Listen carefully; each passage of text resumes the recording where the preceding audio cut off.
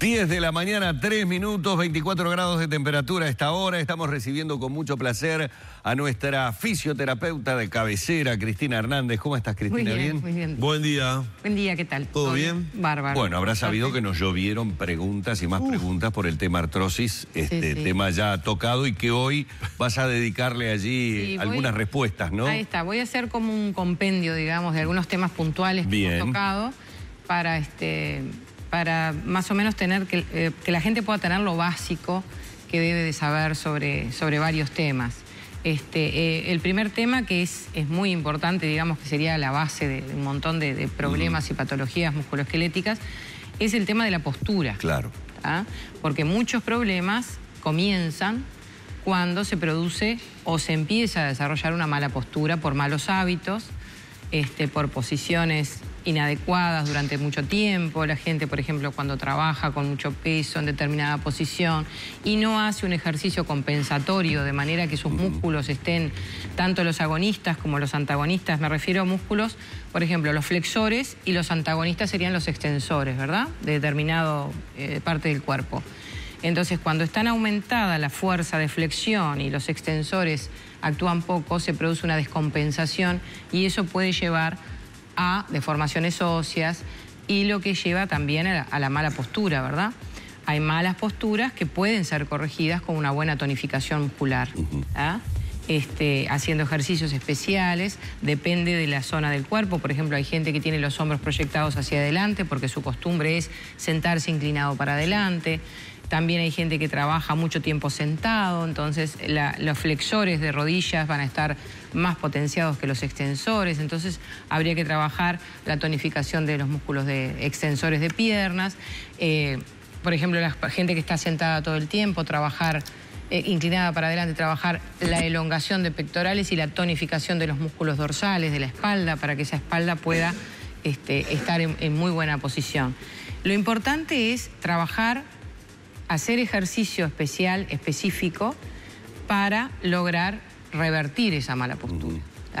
Porque también el ejercicio en exceso o algunos tipos de ejercicios donde se intensifica más la tonificación de ciertos grupos musculares y se deja un poco de lado otros, también nos puede llevar a una mala postura. Entonces, este, los fisioterapeutas generalmente hacemos como un análisis, un análisis postural, un análisis muscular. Por ejemplo, acá vemos en esta imagen malas posturas habituales. Por ejemplo, la primera que estamos viendo a la izquierda es una hay, hay gente que de pronto no se da cuenta que está en mala postura. Y sin embargo, sí lo está, está haciendo una rectificación dorsal, está haciendo una rectificación lumbar, una hiperextensión de cadera. En la segunda tenemos una hiperlordosis donde está acentuada la columna, la zona lumbar, que eso puede llevar inclusive a pinzamientos, contracturas lumbares importantes, una rectificación de la columna dorsal, o sea, la columna dorsal queda recta y se profundiza la zona lumbar. Y la tercera imagen es un dorso curvo, que es la que veníamos hablando recién, las personas que están mucho tiempo sentadas, que producen una flexión de tronco al frente, proyección de hombros hacia adelante. Ese soy yo. Entonces se produce un acortamiento de pectorales y una, una disminución de la, la fuerza de los músculos dorsales, que son los, justamente los erectores del raquis, ¿no? de la columna. Eh, también está la, la cuarta posición, la proyección del tronco hacia adelante, aquellas personas que están sentadas, sobre todo la gente que está en oficinas, con los monitores de las computadoras muy abajo, que no lo ponen a la altura de sus ojos, proyectan el mentón hacia adelante y producen un desplazamiento cervical. Y cuando hay un desplazamiento de alguna parte de la columna o alguna modificación de sus curvaturas normales, siempre la sinergia muscular se acomoda y puede producir descompensaciones en otro lado. ¿tá? Entonces es importante no solo trabajar la zona que está, este, digamos, mal, este, en forma mal este, su postura, sino trabajar el resto del cuerpo para compensar esa desviación. En la última imagen tenemos lo que sería una postura correcta, que no es, como todo el mundo piensa, llevar los hombros apretados hacia atrás, porque en ese caso estaríamos en una contracción importante de músculos dorsales y exigiendo la articulación del hombro.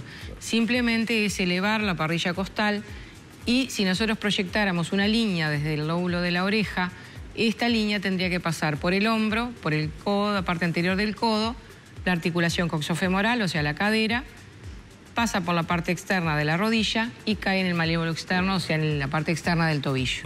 Esa sería una línea postural correcta, ¿verdad? Para eso es importante mantener una buena sinergia muscular. O sea, cuando los, si bien el esqueleto es nuestro sostén, se sostiene y realiza sus movimientos a partir de músculos que actúan unos en contraposición de otros, ¿verdad? Si otros unos músculos están aumentados su acción, como por ejemplo, no solamente por movimiento, sino por falta de. Hay gente que está quieta en determinada postura mucho tiempo y ese músculo se acostumbra a estar contraído. En cambio, el antagonista se distiende. Entonces no hay una compensación y ahí es donde se produce la deformidad ósea, ¿verdad? Que en principio, cuando se puede rectificar que la persona puede enderezar su espalda, estamos a tiempo. Pero hay momentos en que la, desviación ósea este, es tan profunda que ya no tiene vuelta atrás. Es muy complicado. Entonces es importante que se realicen ejercicios compensatorios este, con una gimnasia que no tiene por qué ser una gimnasia violenta, este, una gimnasia suave, que puede trabajar este, todo el cuerpo para compensar justamente esa, esa acción energética muscular que no sea despareja, ¿verdad? Por ejemplo, acá tenemos este, gente mayor que está haciendo ejercicio, tonificando sus, sus músculos. Te quería preguntar qué tipo de ejercicios. Claro, hay ejercicios suaves. No cargar muchos versus otros. Exacto. Lo más importante es mantener las articulaciones en todo su rango de movimiento. Las articulaciones se miden en grados, articulaciones que se mueven 90 grados, 180 grados, 30 grados, 45 grados. Y eso es lo importante, que el profesional es el que orienta. Bueno, esta articulación ya no tiene el rango de movimiento total, entonces hay que llevarlo despacito, con una movilización activa. En algunos casos puede ser pasiva, porque hay gente muy mayor, por ejemplo, que tiene limitado muchísimo sus, sus, este, sus articulaciones y puede lograrse un rango de movimiento total. Este, pero es importante mantener la movilización. Hay gente, por ejemplo, que deja de levantar sus brazos del hombro hacia arriba. Es muy difícil que lo hagan. Entonces, esa falta de movilidad en todo el rango del movimiento articular, llega un momento que la articulación a ese nivel queda rígida. Claro, y que no la sustituye otro movimiento. Es decir, hay, hay movimientos que sí o sí debemos realizar periódicamente. Y son movimientos simples. el ama de casa que de pronto no puede salir de su casa pues está muy ocupada. Eh, por ejemplo, levantar los brazos al, al placar de la cocina lo más alto que pueda y bajar los brazos. O sea, eso también es un ejercicio.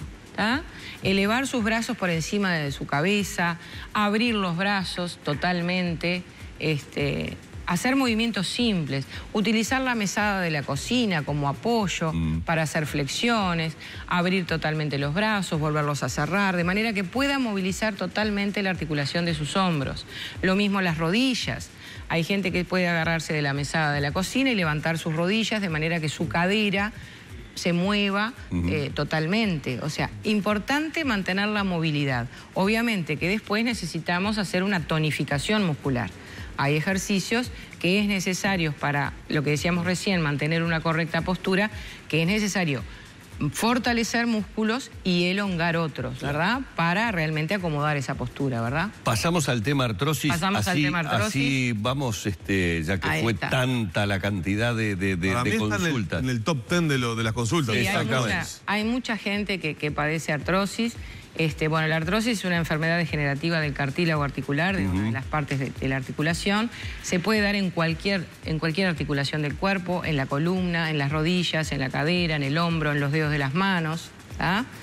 Este, es, es, muy importante, siempre tiene un periodo inflamatorio importante donde el médico tratante obviamente indica la, analgesia correspondiente y todo lo, necesario para paliar ese periodo inflamatorio que es bastante doloroso, por cierto, ¿no? Pero una vez que ese periodo inflamatorio pasa, la persona tiene que realizar movilización de sus articulaciones. Mientras está el dolor presente, nada. Tratar de que la inflamación baje. Exactamente. Tratar de hacer todo lo que el médico le indicó para ese periodo inflamatorio. Pero una vez que ese periodo inflamatorio pasa, la articulación debe de moverse. O sea, hay que tratar de evitar sobrecargas articulares, ¿verdad? O sea, eh, por ejemplo, si la persona no tiene mucho músculo en sus piernas porque nunca hizo mucho ejercicio y tiene una artrosis de rodilla, no puede salir a caminar dos kilómetros, ni uno ni medio. Primero tiene que tonificar sus músculos, porque los músculos y sus inserciones, todas las partes blandas, digamos, de la articulación, son los que la protegen. Claro. Si esos músculos no tienen una buena inserción sobre la articulación que está padeciendo una artrosis, la articulación queda librada a sí misma. Claro. ¿Ah?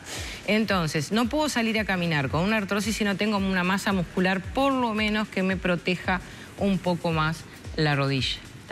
Entonces es importante hacer un trabajo de fortalecimiento muscular, movilidad, fortalecimiento muscular, para que esa rodilla esté protegida, ¿verdad? Es, muy importante eso porque si no hacemos un ciclo vicioso. Se le va el periodo inflamatorio, sale a caminar mucho sin masa muscular y vuelve otra vez a inflamar la articulación. Es muy importante tonificar para que esa articulación esté protegida. Bueno, seguramente seguirán llegando las consultas felizmente y felizmente las seguiremos teniendo a Cristina Hernández para que llegue aquí con su columna sobre fisioterapia. Simplemente hoy desearte, obviamente, que pases muy bien, que tengas Yo también, una feliz a todos, Nochebuena y feliz, feliz Navidad. Nochebuena, feliz Navidad a todos los, los, que nos miran, los que nos escuchan, la gente que nos manda mensajes. Este, me voy un tiempito de vacaciones, pero vuelvo. ¿Ah, sí? Sí, sí, me voy. Qué suerte. Qué suerte que tiene. Me voy a descansar un poquito. Y, este, y bueno, y después volveré con, con nuevas cosas para... Con renovados bríos. Exactamente. bueno, Feliz muchísimas Navidad a gracias. Cristina Hernández con nosotros en la mañana de Arriba Gente.